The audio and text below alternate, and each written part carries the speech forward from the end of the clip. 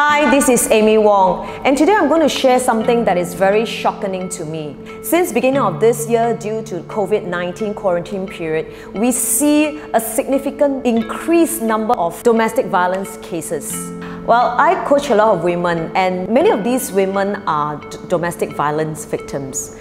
And they would tell me that maybe my husband don't love me enough, but they love my children. Well, if your husband is a loving husband, he will not hurt the mother of his children.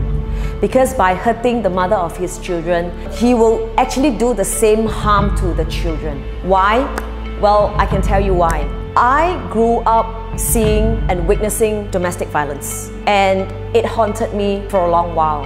It took me a lot of time and a lot of effort to get out of it and, and rebuild my self-concept. Number two, it's not about him loving you enough or not. It's about do you love yourself enough?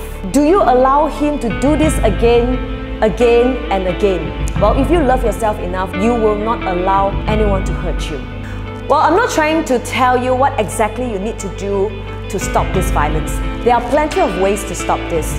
Think of a way that works best for you and for your children.